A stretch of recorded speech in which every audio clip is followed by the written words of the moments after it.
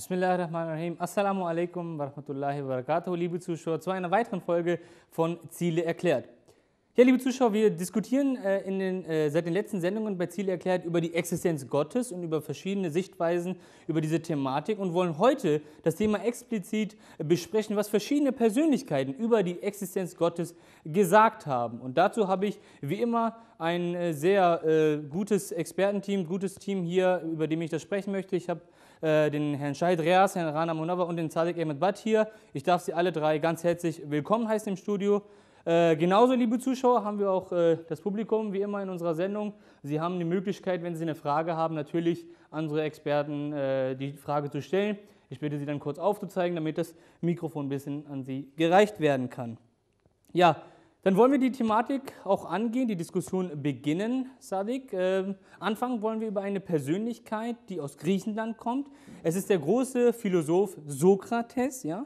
Er wird als einer der bedeutendsten Philosophen auch angesehen, der die abendländische Philosophie grundlegend auch geprägt hat. Ähm, Sadik, meine Frage an dich wäre, was waren denn so seine Ansichten über Gott? Ja, danke. In der Tat war Sokrates einer der bedeutendsten Philosophen aus Griechenland. Ähm, er hat von 423 bis 399 vor Christus gelebt. Und praktisch fast alle antike Philosophen haben sich auf ihn berufen. Und sein, äh, sein, Einfluss war so groß, das geht daraus hervor, dass praktisch die großen Denker, die griechischen Denker vor seiner Zeit als Vorsokratiker bezeichnet werden. Ähm, selbst in der heutigen Zeit ist sein Einfluss sehr groß und es wird eigentlich als eine unauslässliche Voraussetzung betrachtet, wenn man sich mit der Philosophie befasst, dass man ähm, seine Werke liest der Kernpunkt seiner Philosophie war halt die Frage nach dem Guten und nach der Tugend.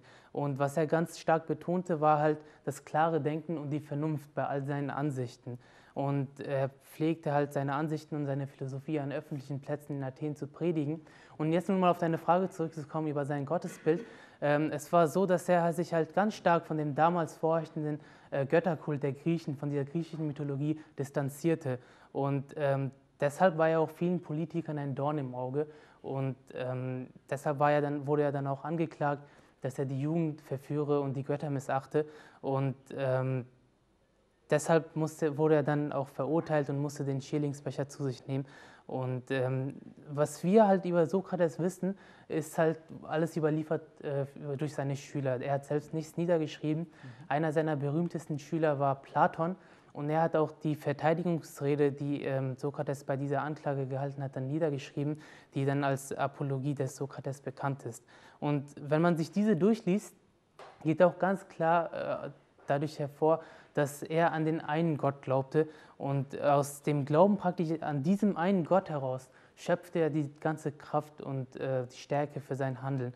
Und alles Weltliche hat er halt stets dem Göttlichen untergeordnet. Und äh, dazu habe ich hier ein Zitat aus dieser Apologie, die ich eben erwähnte. Da sagt ähm, Sokrates äh, zu den Athenern, ich bin euch, ihr Athener, zwar zugetan und Freund, gehorchen werde ich dem Gotte mehr als euch.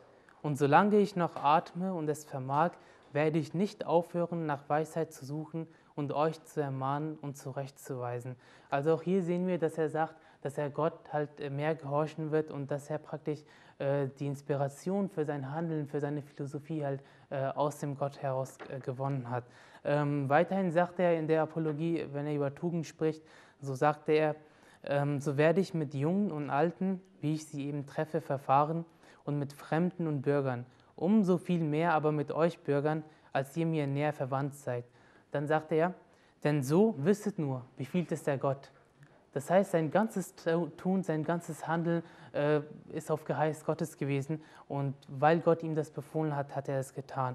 Und weiterhin sagt er, und ich meines Teils glaube, dass noch nie größeres Gut dem Staate widerfahren ist, als dieser Dienst, den ich dem Gott leiste.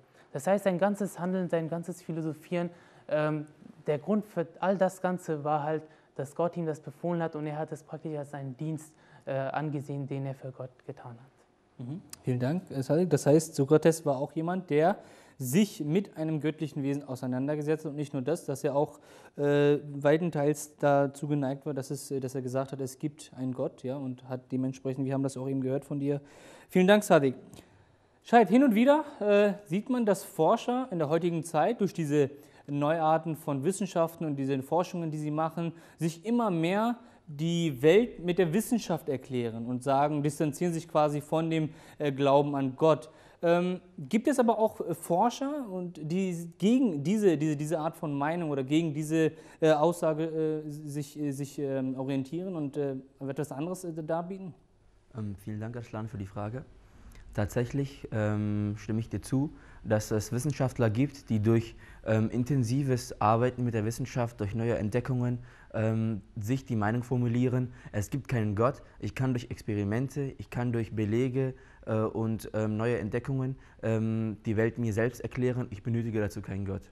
Aber es gibt äh, tatsächlich nicht nur einige wenige, sondern zahlreiche Wissenschaftler, die entgegen diesem Strom schwimmen und sagen, ähm, ähm, dadurch, dass wir uns mit der Wissenschaft beschäftigen, bekommen wir nur noch mehr Belege dazu, dass, es, äh, dass ein Gott existiert. Ähm, ich will das ähm, am Beispiel von äh, Sir Isaac Newton festmachen. Ähm, Newton wurde 1642 in äh, Woolthorpe in Lincolnshire, England geboren und ähm, begann früh mit seinen Studien und ähm, alle Welt äh, ähm, kennt äh, diesen Mann. Und äh, Sir Isaac Newton steht äh, für Fortschritte in der Mathematik, in der Integralrechnung, in der Differ Differentialrechnung und ähm, für seine Arbeiten äh, mit Philosophie und Theologie und äh, dem äh, auch physischen Dingen. Er ist der äh, berühmte Mann, der ähm, die Gravitationskraft entdeckt hat. Ähm, wir kennen ähm, die Geschichte, ähm, wo er einen Apfel vom Apfelbaum runterfallen sieht und ähm, später dient ihm dieses Geschehnis, was er da beobachtet hat, als Indikator dafür, dass er die Gravitation tatsächlich entdeckt. Ähm, wenn man sich äh, das äh, anschaut, dann ist ähm, die, diese Person, Newton, weltbekannt für diese Dinge, die ich eben genannt habe. Aber neben diesen, äh, dieses Leben als Wissenschaftler und als großartiger Entdecker und Physiker ähm, lebte Newton ein sehr ähm, gottgläubiges und religiöses und frommes Leben, was im Allgemeinen nicht sehr bekannt ist. Und darauf will ich jetzt mal äh, mein Augenmerk legen. Ähm, da, durch seine Arbeit mit der Physik und äh, mit dem Licht und mit dem Kosmos ähm, kam er sich so vor, als würde er sich Gott noch nähern, weil er diese Welt im Detail noch äh, versucht hat zu verstehen. Ich zitiere Newton, ähm, dieses wunderschöne System der Sonne, der Planeten und Kometen konnte nur von dem Rat und der Herrschaft eines intelligenten Wesens stammen. Dieses Wesen regiert alle Dinge als Herr über alles. Also ein Zitat, was uns eindeutig belegt, dass dieser Mann fromm war, trotz seiner Entdeckungen sich nicht von Gott entfernte, sondern sich äh, zu ihm noch näher hinzugezogen fühlte. Ähm, als Land passiert es ähm, oft, dass Menschen, die ähm, ein schwieriges Leben führen müssen, denen viele Hürden im Leben begegnen oder die viele Laster und Leid ertragen müssen, dass sie sich von Gott anfangen zu entfernen. Und vielen Forschern geht es genauso. Auch Newton hat ein sehr erschwerliches Leben gehabt. Ähm, seine Art zu denken über die Wissenschaft war eine ganz andere als die seiner Mitstreiter zu seiner Zeit im späten 17. Jahrhundert. Ähm, und ähm, deswegen ähm, wurde er nicht gleich akzeptiert, sondern seine Ideen galten als äh, neuzeitlich und äh, nicht belegbar. Aber ähm, trotz dessen, dass er sich, äh, dass er keine Hassgefühle gegenüber Gott entwickelt, weil es kann ja passieren, dass Menschen, die ein schwieriges Leben führen, auf der einen Seite sagen können, es gibt keinen Gott, denn wenn es einen gäbe, würde es mir nicht so schlecht gehen. Oder äh, sie behaupten, äh, wir brauchen Gott nicht dazu, wir können ja diese Prüfungen selbst bestehen. Aber Newton war jemand, der Gott verantwortlich machte für seine Prüfungen im Leben und ähm, dass er diese Prüfungen als Medizin ansah. Ich zitiere erneut, ähm, Newton sagt, Prüfungen sind Medizin, die uns unser gnädiger und weiser Arzt gibt, nämlich Gott, weil wir sie brauchen und er teilt die Häufigkeit und ihr Gewicht so ein, wie es der Fall erfordert. Also auch aus diesem Zitat geht ganz deutlich hervor, dass ein Mann, der bedeutende Fortschritte in der Physik, bedeutende Fortschritte in der Mathematik der Welt gegeben hat und ähm, ein Element, die Gravitationskraft entdeckt hat, worauf äh, die, sich die ganze Welt stützt, sich nicht von Gott entfernt, sondern durch seine Entdeckungen sich noch mehr zu ihm hinzugezogen fühlt und noch mehr, noch gottgläubiger und frommer wird. Mhm. Gut, vielen Dank, äh, Shahid. Das heißt, wir sehen Isaac Newton der auf jeden Fall einen Namen hat. Äh, er war jemand, der durch die Forschung nicht weg von Gott gegangen ist, sondern erst dadurch vielleicht gestärkter an äh, die Beziehung zu Gott äh, gelebt hat und ähm, Gott erkannt hat. Gut, Liebe Zuschauer, wenn wir über Persönlichkeiten reden, über große, berühmte Persönlichkeiten reden, dann dürfen wir ein in Anführungsstrichen Universalgenie äh, nicht außer Acht lassen und sicherlich auch deshalb nicht, weil er die deutsche Kultur sehr geprägt hat. Und zwar rede ich von Johann Wolfgang von Goethe. Äh, Rana, das wäre auch meine Frage an dich. Äh, Johann Wolfgang von Goethe, was war er, wie war sein Leben und vor allen Dingen, äh, was war seine Beziehung zu Gott oder wie, wie sah die aus? Also ich danke dir erstmal. Du hast völlig recht, dass du sagst, dass Goethe ein Universalgenie war. Denn er war nicht nur ein Dichter, sondern er war auch ein Schriftsteller, ein Kunstkritiker, ein Naturwissenschaftler und natürlich auch ein Staatsmann. Er hat nicht nur den Sturm und Drang geprägt, sondern er, war auch, er hat auch die Weimarer Klassik geprägt. Er war sozusagen die Lichtgestalt der deutschen Literatur. Er verfasste viele äh, äh dichterische Werke, auch Dramen und äh, Prosawerke und eines seiner bekanntesten Werke, äh, die Tragödie Faust, ist allen bekannt und durch die hat er auch äh, eine solche Ebene erlangt, in der er auf der äh, weltliterarischen Ebene zu den Höhepunkten zählt. Und wenn wir nun seinen Bezug zur Religion ansehen, betrachten, dann sehen wir, dass sich Goethe über sein ganzes Leben hinweg mit, dem christliche, mit der christlichen Religion, aber auch mit anderen Weltreligionen sich befasst hat und mit deren theoretischen Interpretationen sich auch befasst hat, die wir natürlich dann in seinen Werken wiedersehen. Seine äh, Sprachmächtigkeit oder seine Kunst und Ästhetik, um sie verstehen zu können, ist es für uns notwendig, dass wir uns mit dem Thema Religion befassen. Denn ohne diese können wir seine Werke nicht völlig verstehen. Was wir aber festhalten müssen, ist, dass Goethe, da er ja sehr hingezogen zu der christlichen Religion war, nicht äh, durch die christliche Religion äh, zufriedengestellt war. Denn äh, Thomas äh, Thielicke schreibt, Goethe nimmt in seiner Stellung zur christlichen Religion und ihren Vertretern immer wieder die Position eines wohlwollenden und einfühlsamen Beobachters ein, eine Distanz eines Außenseiters. Also daraus sehen wir wieder, obwohl er einen großen Bezug zu der christlichen Religion hatte, dass er nicht wirklich dadurch befriedigt war. Vielleicht ist ja das genau der Grund, warum äh, sich die äh, Experten darüber unsicher sind oder es ihnen rätselhaft ist, wie denn äh, Goethe zu der widersprüchlichen Religion war. Für, aber was wir festhalten können, ist, dass, äh, obwohl er sich von dem Christentum etwas distanziert, dass es ihm in diesem Augenblick umso wichtiger war, dass er nach der wahren Religion sucht, dass er nach der Religion selbst sucht. Und wenn wir das in den, Hinter, hinter, in Hinterkopf behalten, dann sehen wir, dass äh, Goethe in seinen Werken das Wort Gott äh, verhältnismäßig selten verwendet. Er, verwendet, er gebraucht viel mehr Umschreibungen. Er redet von der, die allmächtigen äh, Mächte, der, äh, der ewig eine, das Unendliche, die Weltenseele. Und äh, natürlich bezieht er sich auch direkt auf Gott in seinen Werken. So schreibt er, wäre nicht das Auge sonnenhaft, die Sonne könnte es nie erblicken, lege nicht in Gottes eigene Kraft, wie könnte uns Göttliches entzücken? Was Goethe uns damit sagen möchte, ist, dass äh, wir ein Teil Gottes sind, dass aber auch die Natur ein Teil Gottes ist. Und dass wir deshalb in der Natur nicht nur uns selbst wiedererkennen, aber dass wir auch sozusagen in der Natur Gott wiedersehen. Aber das, was er nicht sagt, ist, dass die Natur fähig ist, das Wesen Gottes als Ganzes zu verkörpern.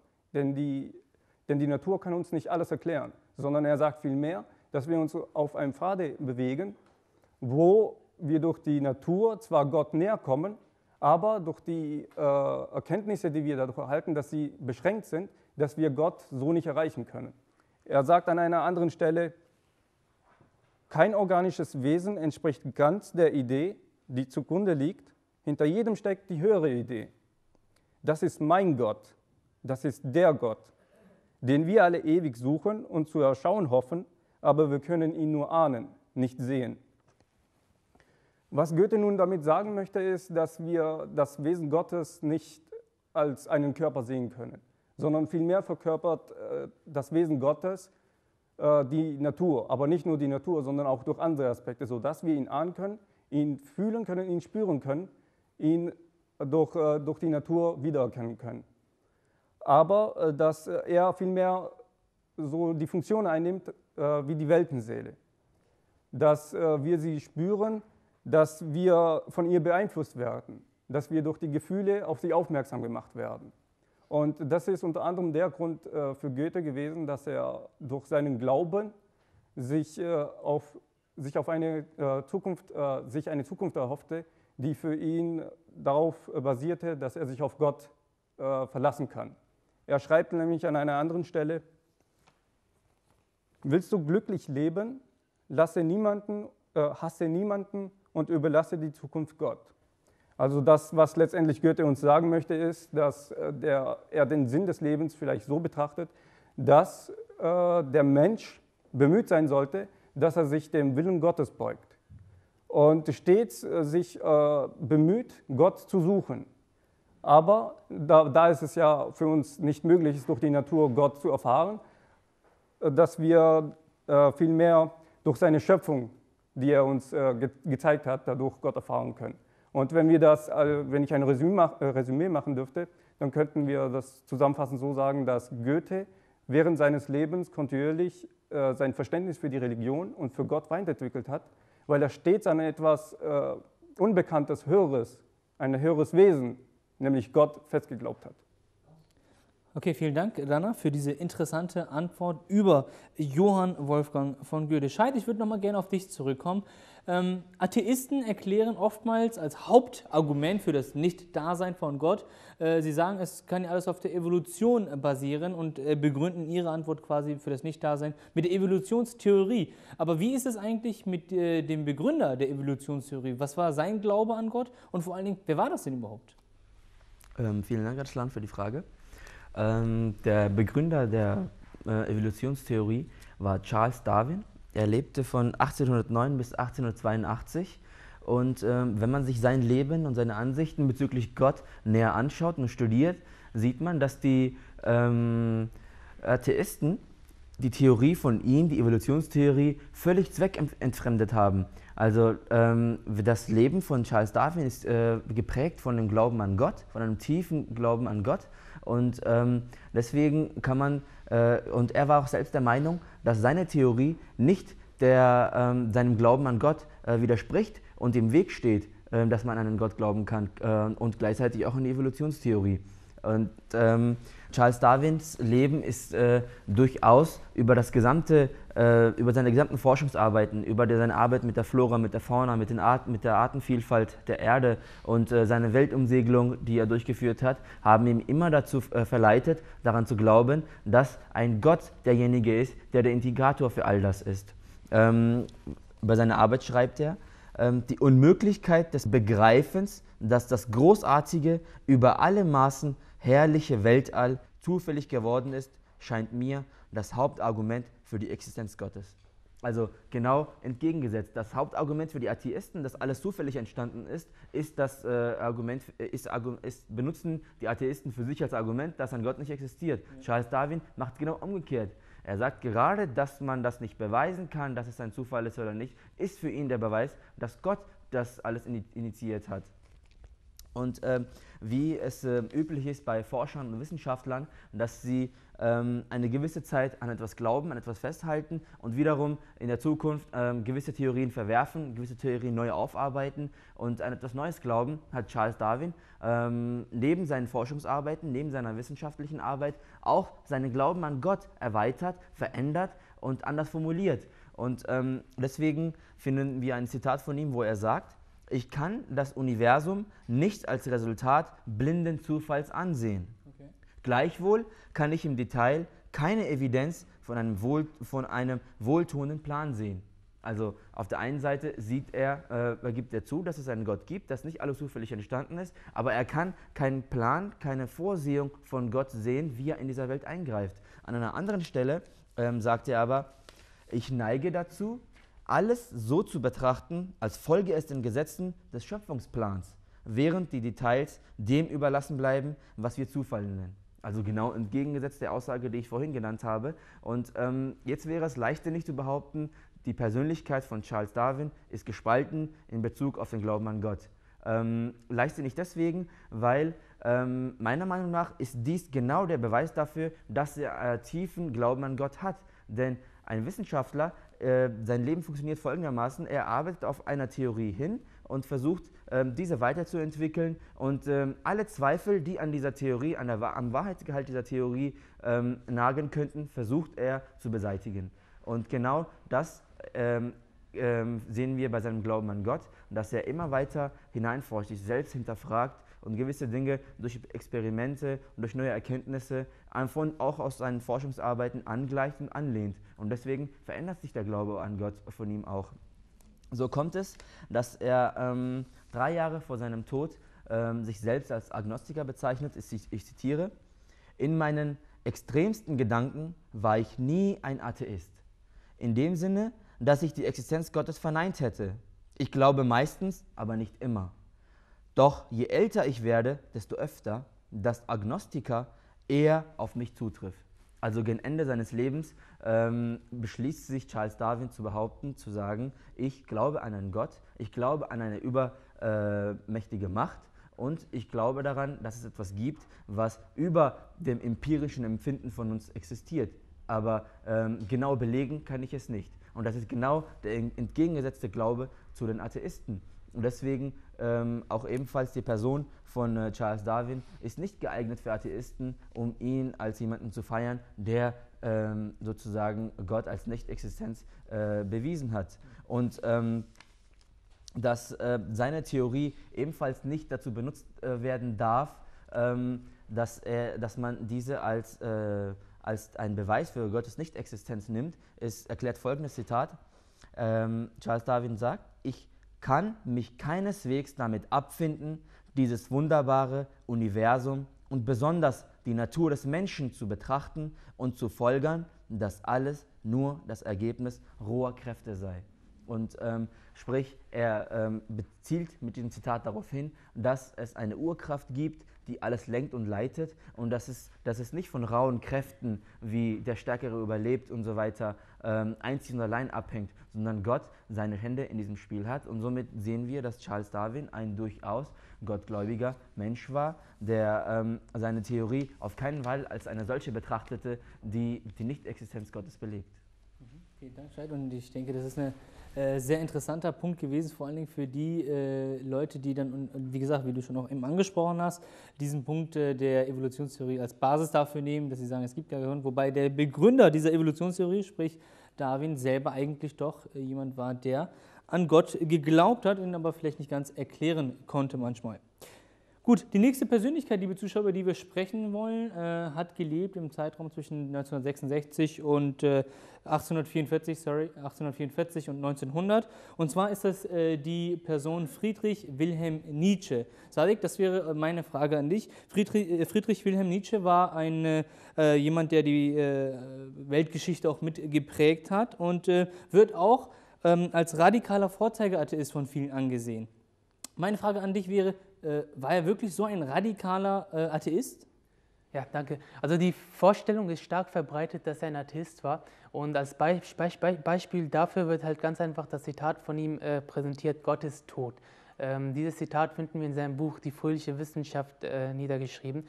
Aber es ist halt ganz wichtig zu verstehen, in welchem Zusammenhang wir dieses Zitat finden und äh, damit wir dieses Zitat dann auch richtig verstehen. Ähm, dieses, äh, diese, diese Aussage, dieses Statement erscheint im Rahmen einer gleichnishaften Geschichte, in der ein Außenseiter auftritt, ähm, der auch ein verzweifelter Gottessucher ist und dann ausruft, Gottes Tod. Ähm, Im selben Buch, wenn wir weiterlesen, im weiteren Verlauf dieses Buches, ähm, Die fröhliche Wissenschaft, finden wir ein Zitat, aus, der, aus dem dann eindeutig hervorgeht, welche Art von Gott Nietzsche eigentlich für tot erklärt.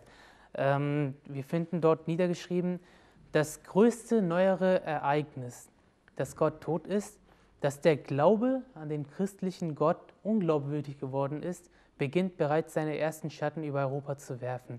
Das heißt, den Gott, den Nietzsche eigentlich für tot erklärt, ist eigentlich der christliche Gott, also der Gott, also die Gottesvorstellung, die dort in diesem Jahrhundert dann geherrscht hat und mit der er aufgewachsen ist. Und diesen Gott erklärt er für tot. Weiterhin sagt er, in der Tat, wir Philosophen und freien Geister fühlen uns bei der Nachricht, dass der alte Gott tot ist, wie von einer neuen Morgenröte angestrahlt. Unser Herz strömt dabei über, über von Dankbarkeit, Erstaunen, Ahnung, Erwartung. Endlich erscheint uns der Horizont wieder frei. Wir sehen, dass halt aus diesem Zitat ganz eindeutig wird, dass er halt den Gott der Theologen und der christlichen Kirche meinte, den er für tot erklärt. Und vor diesem äh, Hintergrund ist auch eine andere Aussage zu verstehen, die in seinem letzten Werk ähm, äh, niedergeschrieben ist, in dem Werk Eco Homo. Und dort sagt äh, Nietzsche, Gott ist eine faustgrobe Antwort, eine Undelikatesse gegen uns Denker, im Grunde sogar bloß ein faustgrobes Verbot an, an uns, ihr sollt nicht denken. Und das heißt, der Gott, der ein Hindernis darstellt für die Menschen zu denken, ist eigentlich der christliche Gott, mit dem er aufgewachsen ist. Und mit dieser Einschätzung von ihm äh, bin ich völlig einverstanden. Denn äh, die Glaubensvorstellung, die, Gottes, äh, die Glaubensvorstellung des äh, christlichen Gottes, die damals präsentiert wurde, ist absolut nicht akzeptabel. Im Gegensatz dazu sehen wir, dass der Islam einen lebendigen Gott präsentiert einen Gott, der sich zeigt, der sich auch durch seine Natur zeigt. Und diesen lebendigen Gott gilt es zu erfahren. Und für den Muslim und für den Gläubigen im Islam ist es kein Hindernis, äh, an Gott zu glauben äh, und gleichzeitig Fortschritte zu machen und seine Gedanken frei zu entwickeln. In der Tat ist es so, dass der Glaube für den Muslim eigentlich erst nur dann vollständig wird, wenn er über die Natur, über die Schöpfung äh, Gottes nachdenkt und nachsinnt und so dann praktisch äh, in, zunimmt in Gottes Erkenntnis. Ähm, zurück nochmal zu Nietzsche. Wenn man weitere seiner Werke betrachtet, ähm, geht auch dann eindeutig hervor oder man äh, stößt auch auf den Punkt, dass er die, Ex äh, die, die, Existenz eines Gottes nicht per se ablehnte, sondern es geht sogar hervor, dass er sogar an seiner Gottlosigkeit litt. Ähm, dazu habe ich ein Zitat ähm, aus ähm, seinem Buch Also sprach Zarathustra und es ist wiederzufinden im Lied der Schwermut. Und dort sagt er, euch allen, die ihr am großen Ekel leidet, gleich mir, denen der alte Gott starb und noch kein neuer Gott in Wiegen und Windeln liegt. Das heißt, er leidet praktisch äh, regelrecht daran, dass der alte Gott gestorben ist, aber weil er keinen neuen Gott kennt oder sich damit nicht beschäftigt, ähm, ist er halt einfach zu dem Schluss gekommen, dass Gott tot ist. Und Zusammenfassend kann man sagen, dass er halt kein lupenreiner Atheist gewesen war und all seine antitheistischen Aussagen eigentlich gerichtet sind gegen die christliche Vorstellung eines Gottes. Und ähm, man könnte auch sagen, wenn er sich mit dem islamischen Gott beschäftigt hätte oder mit dem Gottesbild, das der Islam präsentiert, sich auseinandergesetzt hätte, dann wäre er sicherlich zu ganz anderen Schlüssen gekommen. Ja, vielen Dank, Savik. Äh, so viel zu Nietzsche. Shahid, Nochmal zurück zu dir. Ähm, man behauptet heutzutage, dass Wissenschaft und der Glaube an Gott nicht unter einem Nenner zu bringen ist. Meine Frage äh, an dich wäre, gibt es auch äh, Leute, oder es gibt ja sicherlich auch Leute, die das äh, schon eigentlich unter einem Nenner bringen würden? Ähm, ja, tatsächlich gibt es Wissenschaftler, für die das beides zusammen einhergeht. Beides bildet eine Parallele und ähm, die sind nicht voneinander trennbar. Ähm, ich möchte das ähm, an dem Beispiel von dem weltberühmten Wissenschaftler Albert Einstein festmachen. Und zwar lebte ähm, Einstein von 1879 bis 1955 und ähm, eigentlich bedarf er ähm, keiner Vorstellung. Deswegen nenne ich kurz ähm, seine berühmtesten Werke.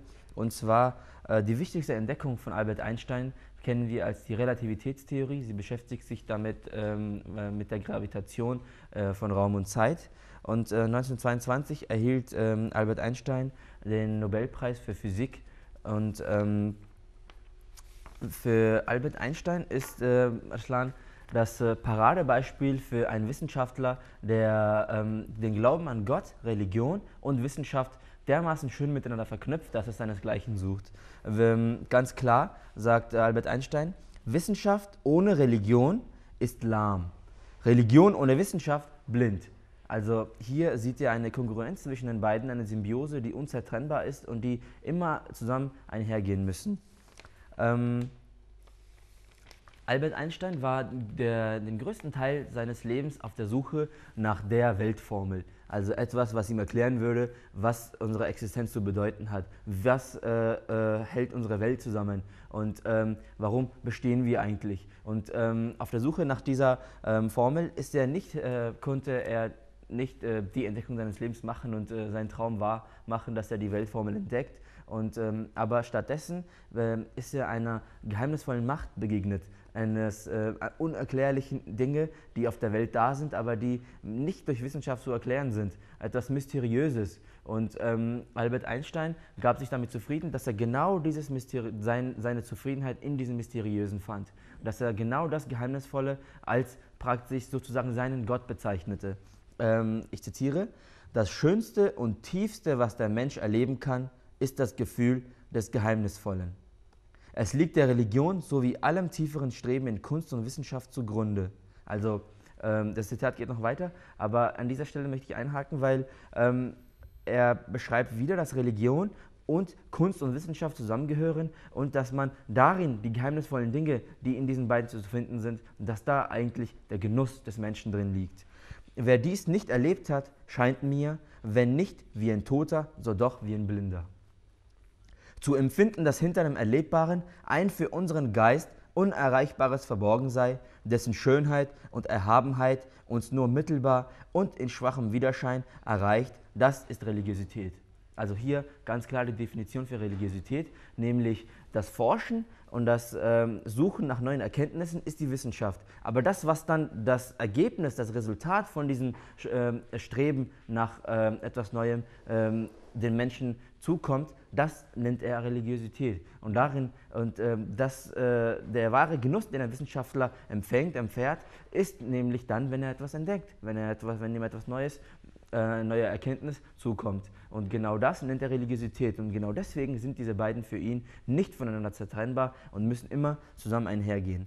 In diesem Sinne, sagt er weiter, bin ich religiös. Er bezeichnet, sich selbst als tief religiösen Menschen. Es ist mir genug, diese Geheimnisse staunend zu ahnen und zu versuchen, von der erhabenen Struktur des Seienden in Demut ein mattes Abbild geistig zu erfassen.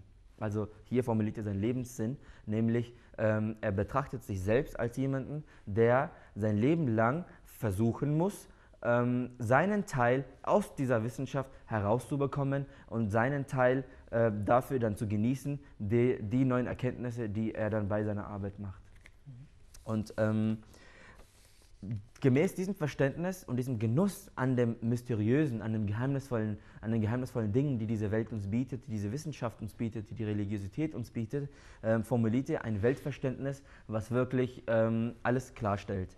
Ähm, er schreibt äh, über sein Verständnis für diese Welt, für die Religiosität, für die Wissenschaft.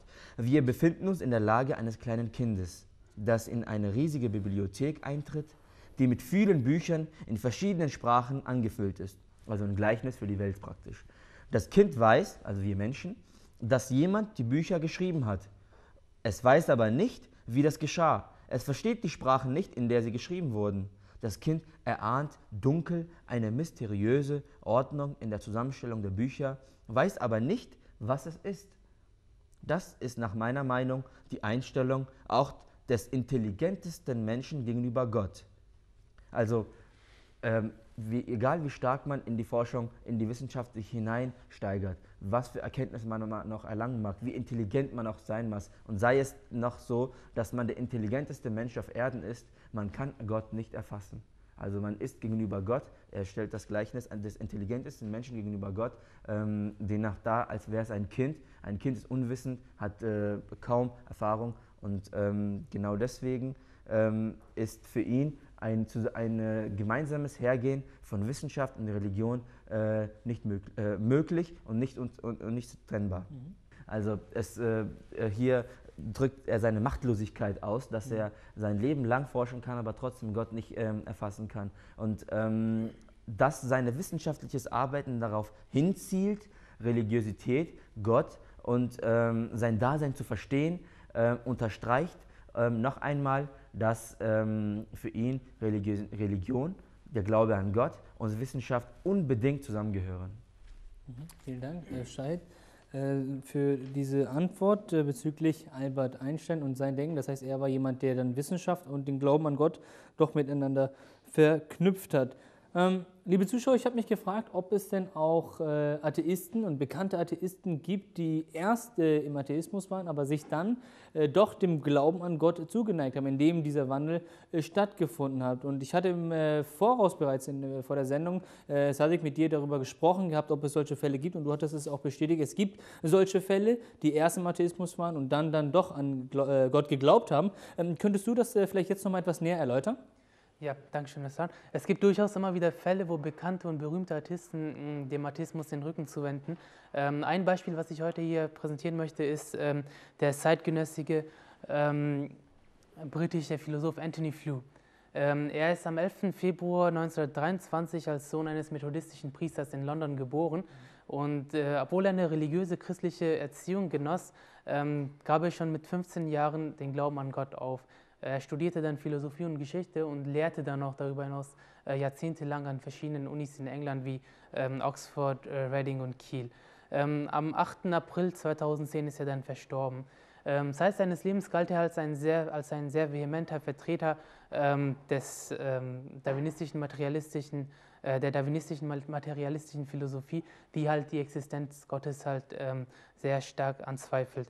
Er galt als eine Ikone des, äh, für Atheisten und der Einfluss seiner Theorien und seiner Ansichten war auch sehr groß auf verschiedene Religionskritiker, zum Beispiel auch unter anderem der berühmte Antitheist Richard Dawkins. Ähm, Im Jahre 2004 sorgte er dann für großes Aufsehen, als er dann in einem Interview bekannt gab, dass er doch den Glauben an Gott gefunden hat.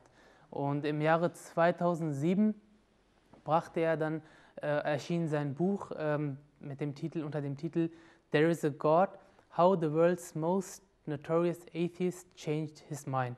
Sorry, an dieser Stelle hätte ich vielleicht noch eine Frage. Ähm, kannst du vielleicht nochmal sagen, wie, wie kam er zu dieser Überzeugung? Also wie, wie äh, kam denn der Wandel bei ihm? Ja, also in diesem äh, Buch äh, schreibt er halt, äh, berichtet er halt über seine Konversion vom Atheisten zum Deisten. Mhm. Und ich habe hier ein Zitat, äh, in dem er das äh, sagt. Er sagt, dass, es, dass zwei Faktoren für ihn halt entscheidend gewesen seien. Er sagt, der eine war mein wachsendes Verständnis für die Ansichten Albert Einsteins und anderer wichtiger Wissenschaftler, dass es eine Intelligenz geben müsse, die hinter all der Komplexität des physischen Universums steht. Das heißt, äh, das Argument, dass es halt ein höheres Wesen geben muss, der halt die ganze Erde mit all seiner Komplexität äh, erschaffen hat, mit all ihrer Komplexität erschaffen hat.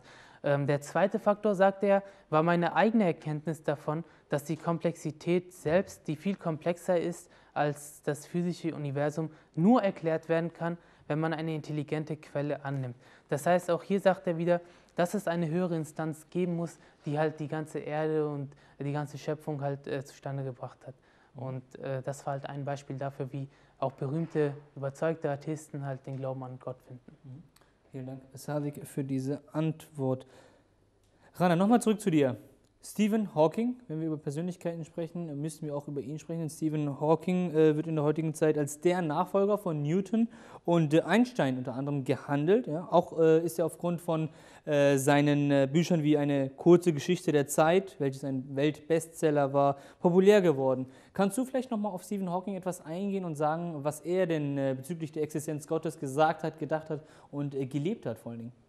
Ja, natürlich. Aber bevor ich auf die, auf die Frage eingehe, welche, welche Beziehung er in seinen Büchern auf die Existenz Gottes eingeht, wie er darauf eingeht, möchte ich davor noch kurz äh, zu seiner persönlichen Beziehung zur Religion ja, was sagen. Bitte? Denn ähm, wenn wir seine Aussagen betrachten, dann sehen wir, dass er sich von der Religion eigentlich distanziert, weil er an fundamentalen ähm, Glaubensartikeln, sage ich jetzt mal, dass er diese abstreitet, sowas wie das Leben nach dem Tod, dass er das vehement ablehnt.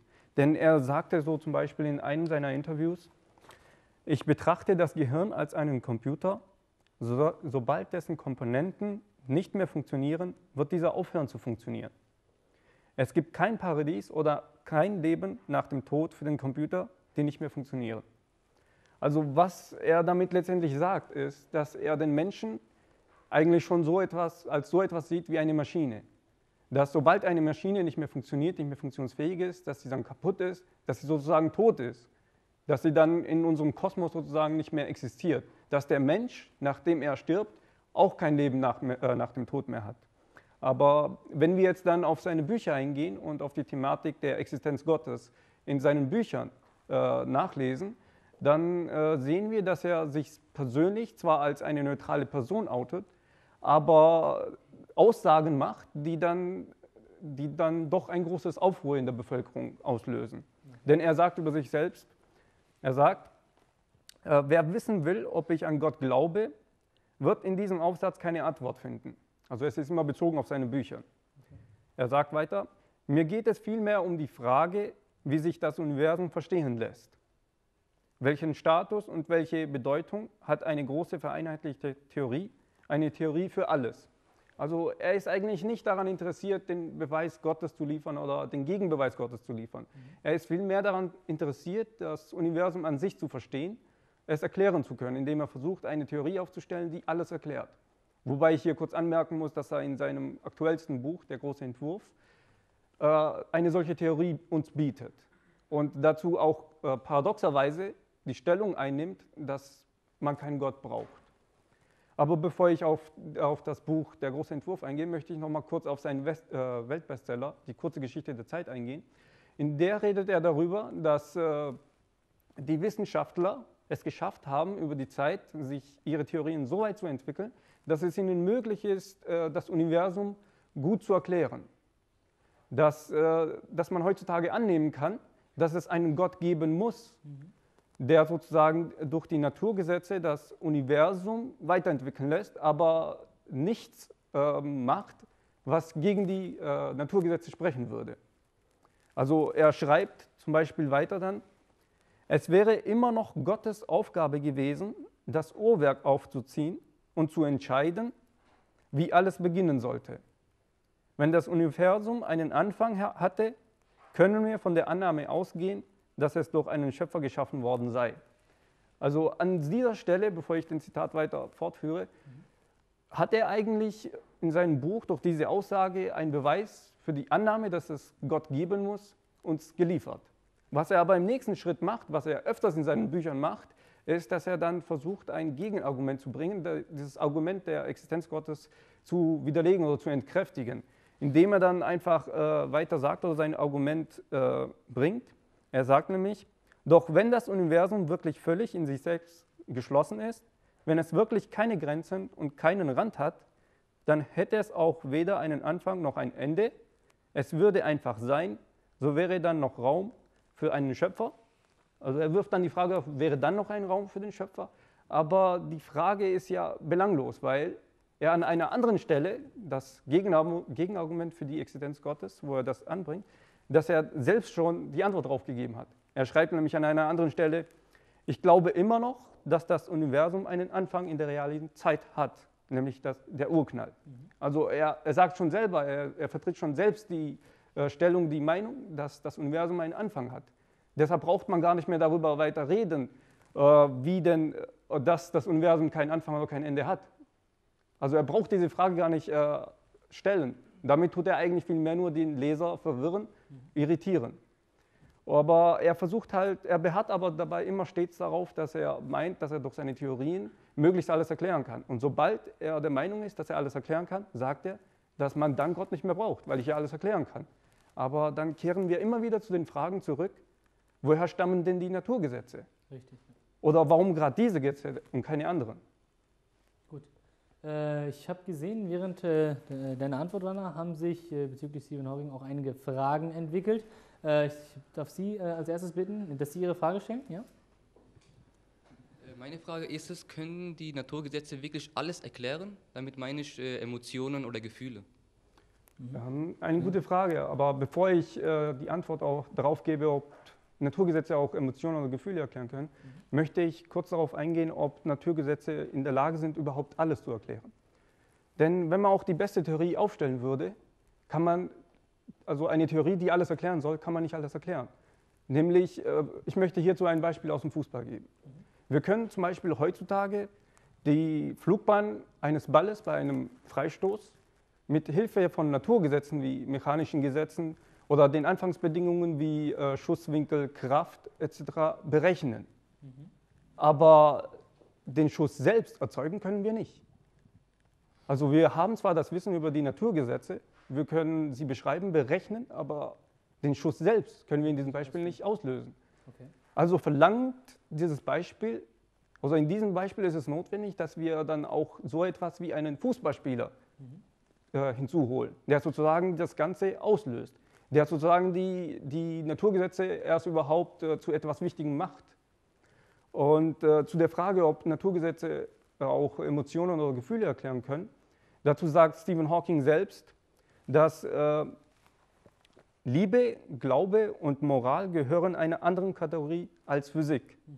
Aus den physikalischen Gesetzen können, sie nicht, können wir sie nicht ableiten, äh, wie, äh, wie wir uns verhalten sollen. Also das, was er damit sagen möchte, ist, dass die Naturgesetze nicht bei, überhaupt nicht, nicht mal im entferntesten Sinne äh, etwas darüber aussagen können oder durch die Gesetze erklären kann, was Gefühle oder Emotionen sind. Er kann das einfach nicht. Okay. Vielen Dank. Ich äh, glaube, die Antwort ist damit äh, beantwortet. Eine Frage hatten wir hier noch, ja? Ja, wir hatten vorhin das Buch erwähnt, das aktuelle Buch von Stephen Hawking und dass er dort über die Gottesexistenz redet.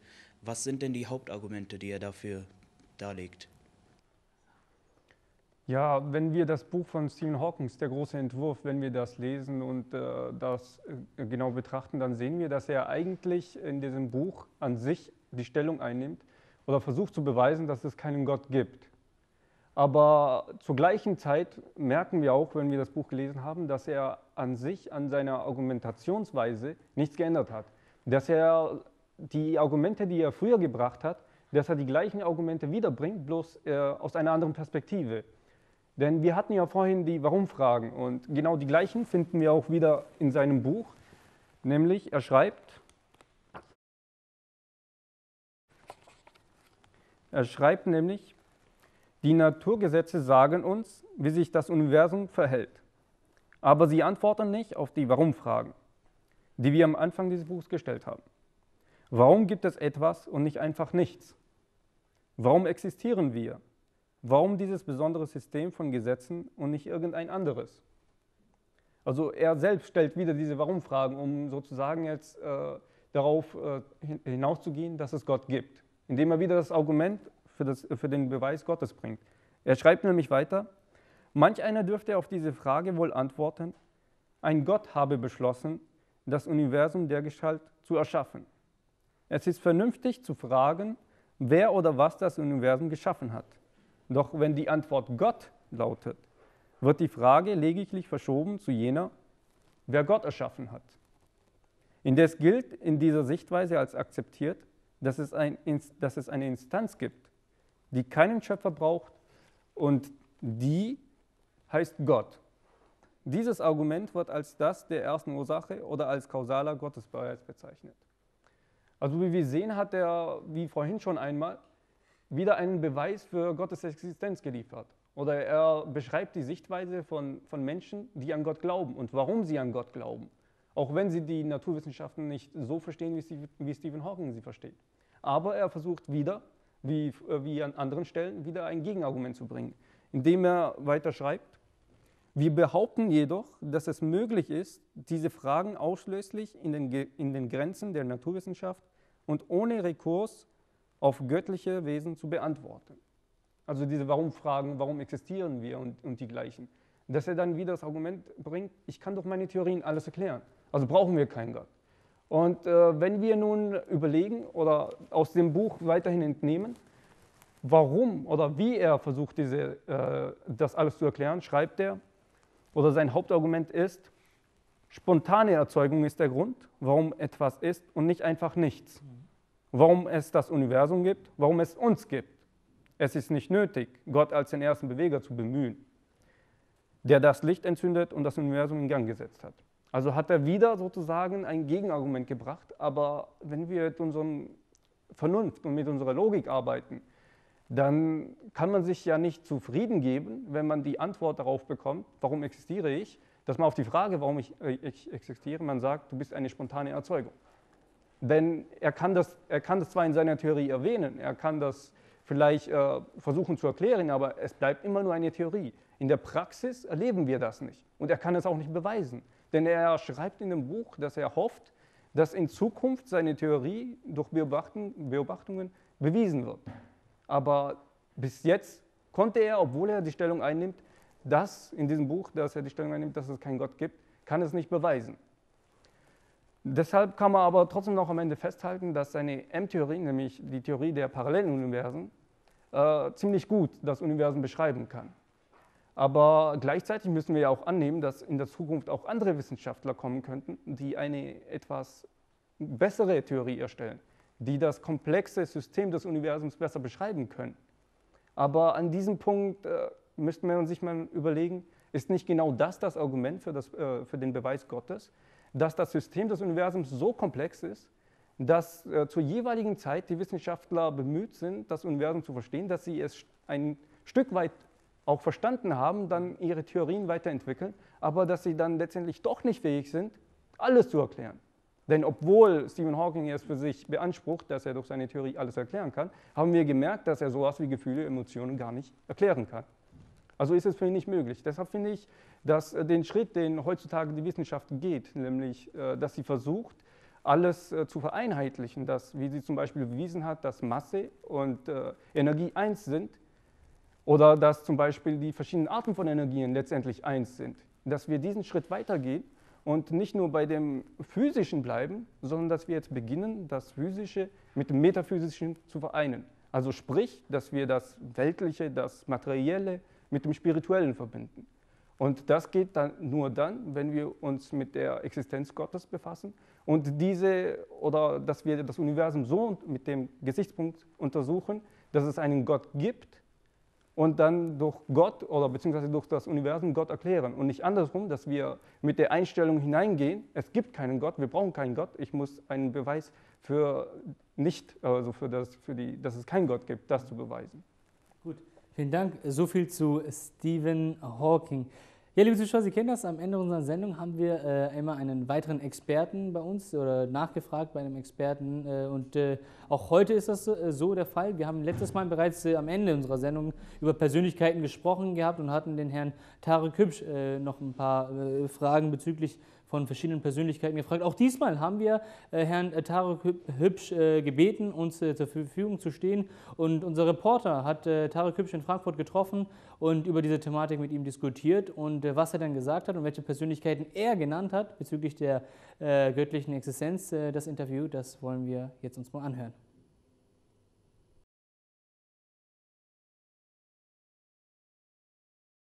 Ähm, wir haben hier heute als Experten Herrn Tarek Hübsch eingeladen. Ähm, ich würde Sie ganz herzlich begrüßen, Herr Tarek Hübsch. Assalamu ähm, äh, in der heutigen Sendung, wie Sie wissen, geht es um berühmte Persönlichkeiten, wichtige Persönlichkeiten der Zeitgeschichte und was diese Persönlichkeiten für eine Gottesvorstellung hatten. Ähm, ähm, ich würde Sie bitten, ähm, welche, äh, über welche Persönlichkeit und äh, dessen Gottesvorstellung möchten Sie uns denn heute berichten? Also ich habe mir einen Muslim herausgesucht, der erste muslimische Nobelpreisträger für Physik. 1979 hat er den Nobelpreis erhalten. Und zwar ist es äh, Dr. Abdus Salam. Das ist, wenn man schon sich diesen Titel vergegenwärtigt, den er erhalten hatte, den Nobelpreis, dann ist es natürlich eine große Persönlichkeit der, des äh, 20. Jahrhunderts. Außergewöhnlich macht ihn, und das kann man auch in einer Biografie nachlesen, sein inniges Verhältnis zu Gott und zu seiner Religion und auch sein, sein Ansatz, der da lautet, dass man über die Religion, über den Heiligen Koran mehr von Gott und von der Welt erfahren kann. Ähm, und was für eine genaue ähm, Gottesvorstellung hatte er und äh, was macht ihn aus äh, in seiner Gottesvorstellung?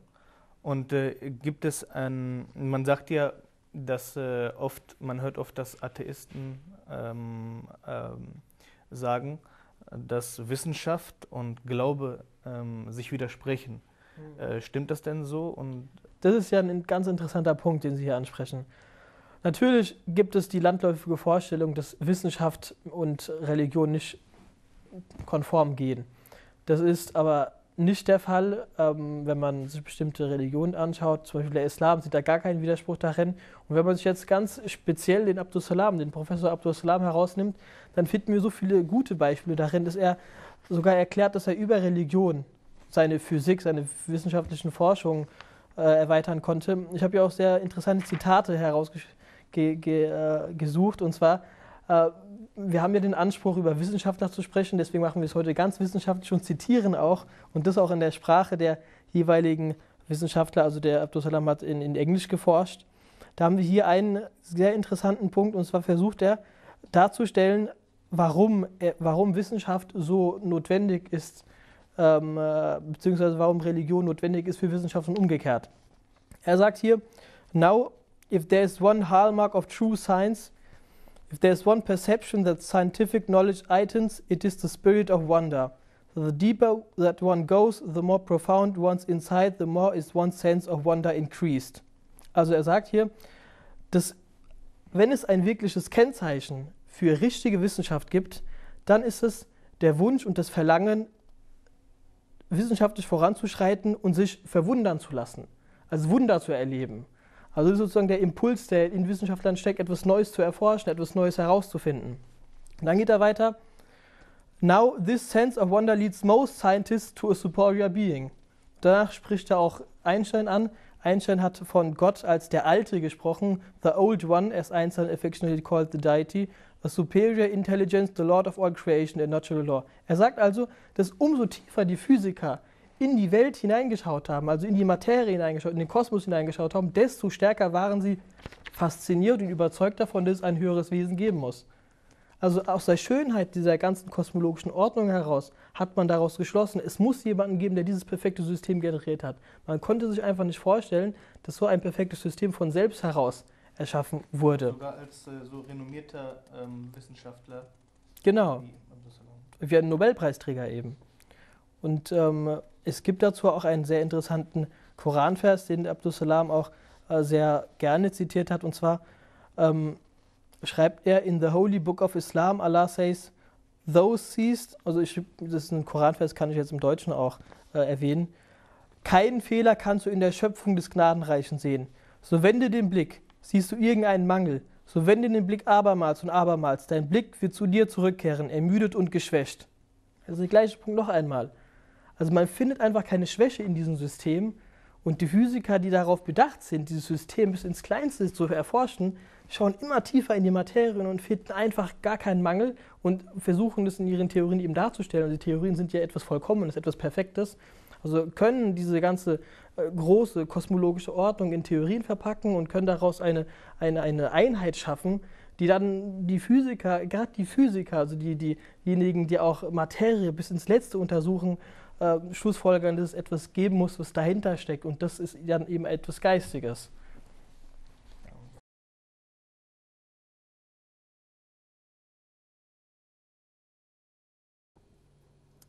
Ja, liebe Zuschauer, Sie haben gesehen äh, die, das Interview von Herrn Hübsch. Und äh, damit sind wir auch schon am Ende unserer Sendung. Die Sendezeit ist, äh, neigt sich zum dem Ende äh, zu. Deshalb äh, möchte ich mich bei Ihnen bedanken, äh, an den Gästen hier im Studio, Herr Scheidreas, Herr Ramonauer, Herr Sadek Bott. Vielen, vielen Dank, dass Sie heute bei uns im Studio Gast gewesen sind. Genauso äh, möchte ich mich natürlich beim Publikum bedanken, dass Sie hier bei uns heute den Weg zu uns gefunden haben. Hier, liebe Zuschauer, das äh, Thema heute, äh, die Persönlichkeiten, verschiedene große Persönlichkeiten, was die über Gott gesagt haben, war wichtig, damit Sie auch den Eindruck bekommen, dass diese Thematik nicht einfach ist, die man, äh, die, über die man nicht unbedingt nicht sprechen sollte, sondern eine Thematik ist, mit der sich auch viele große Persönlichkeiten, Forscher, Wissenschaftler befasst haben und auch überwiegend zu dem Entschluss gekommen sind, dass es einen Gott gibt. Und ähm, das sollte das Denken bei Ihnen, liebe Zuschauer, anregen. Nochmal der Hinweis für Sie, liebe Zuschauer, äh, wie auch in den letzten Sendungen, bitte äh, äh, geben Sie Ihr Feedback an uns. Wir würden uns freuen, äh, wenn Sie uns Ihre E-Mails schreiben. Die E-Mail-Adresse sehen Sie wie immer unten am Bildschirm eingeblendet. Schreiben Sie uns und geben Sie uns Tipps, Anregungen, Vor äh, Tipps bezüglich der Sendung. Äh, die nächste Sendung wird im letzten Monat des nächsten Monats, Sie kennen das, wird die laufen. Ich hoffe, Sie sind bis dahin wieder unser Gast. bedanke mich auch für Ihr äh, Zuschauen, liebe Zuschauer, und äh, äh, verabschiede mich bei Ihnen mit den islamischen Grüßen. Assalamu alaikum, Friede sei mit Ihnen.